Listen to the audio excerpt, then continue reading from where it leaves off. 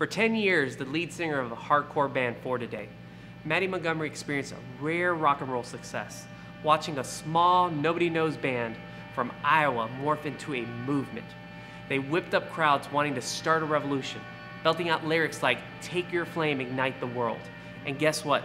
The masses showed up ready for that For Today experience, and they left with a drive to change the world.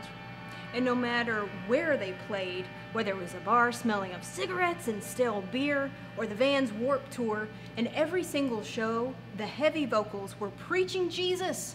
But Mattie knew these amazing days on stage were numbered. Mattie Montgomery shares today on The Revolution.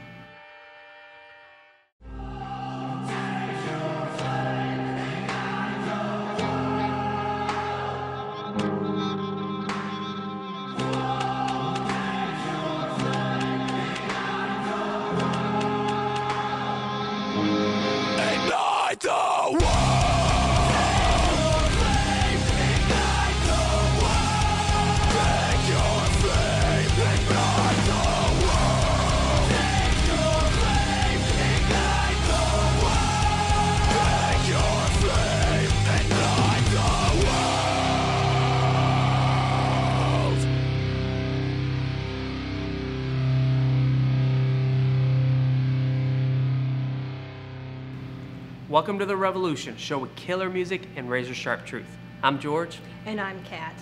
We are so honored to call this man and his family an extension of our own.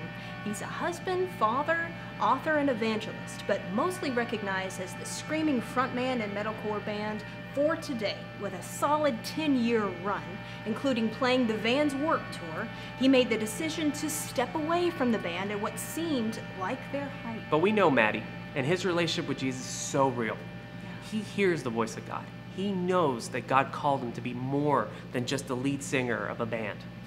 That trust in a faithful, real Heavenly Father, it made it easy for him to close that chapter in his life. So, what's he up to now?